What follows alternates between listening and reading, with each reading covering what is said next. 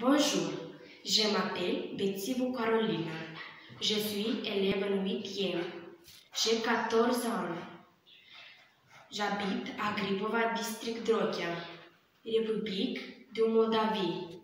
Je vais réciter de la poésie une circonférence de Pierre Gamara. Il était une fois une circonférence sur la page de manuel.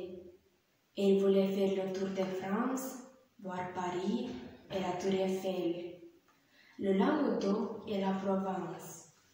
Un beau matin, elle quitta le livre de géométrie. Elle glissa, roula, sauta jusqu'à la campagne fleurie. Un jour, près de mon sol, elle découvrit un garçon qui s'ennuya près d'un buisson. Elle lui dit de sa voix la plus douce. Veux-tu jouer avec moi soir la mousse? Je te servirai de ce Nous irons au bord du ruisseau, dans la sentier de la prairie, et quand nous nous reposerons, je te donnerai des leçons, des leçons de géométrie.